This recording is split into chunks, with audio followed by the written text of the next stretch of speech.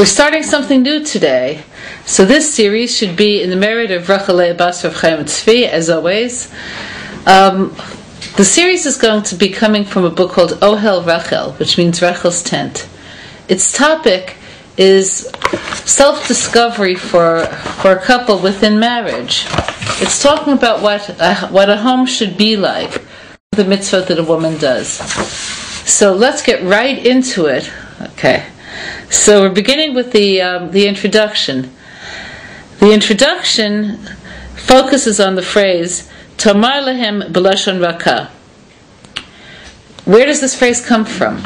It comes from the Torah itself. When the Torah was given, it says "Kotomar lebet Yaakov v'taged livnei Israel."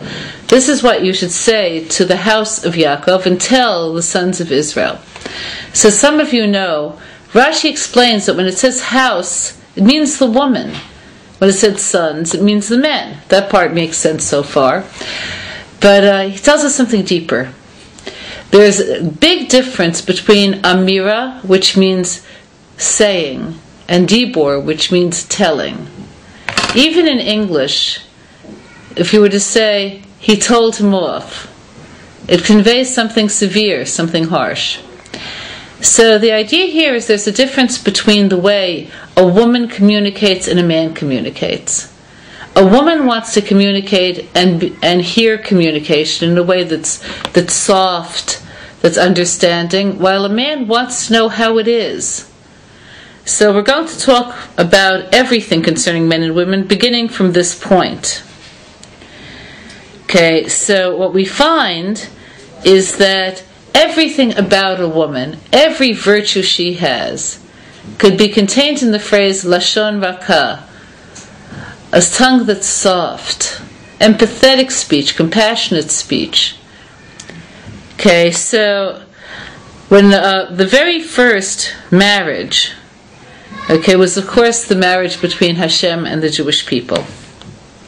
So it was Hashem who uh, who opened himself up to us using the words that we just said. Okay, so what we find there is that the way we receive Torah and every possible advantage the Torah gives us, which is, of course, unfathomable in how great it is.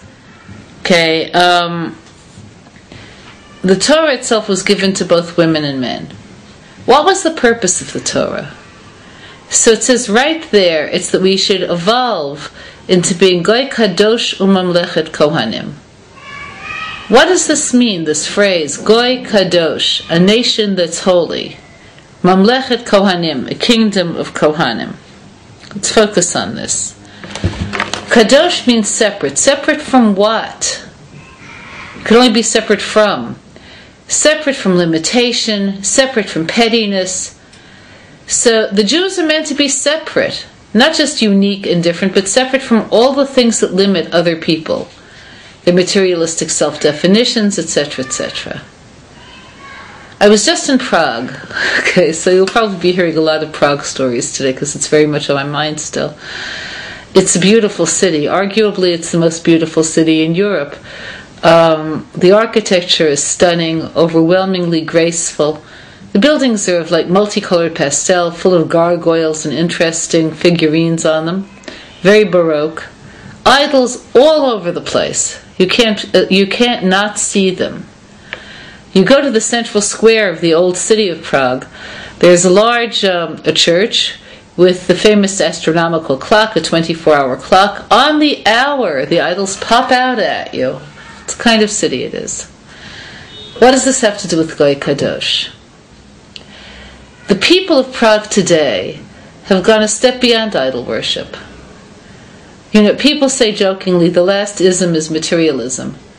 So the shopping streets are, are wide and long and have every possible designer name, every status item.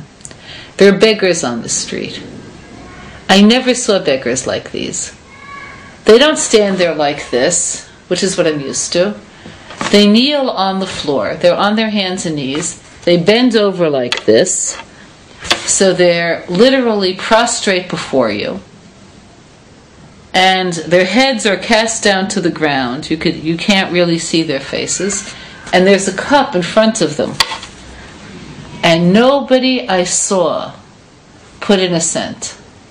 So there's a reason I'm telling you this. What I saw was the opposite of Kedusha, the opposite of.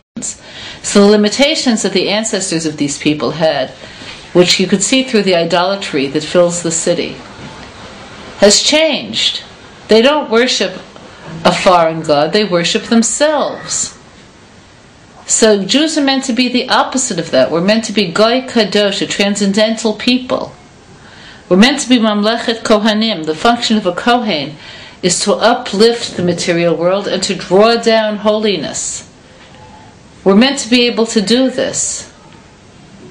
So this goal is addressed to both men and women.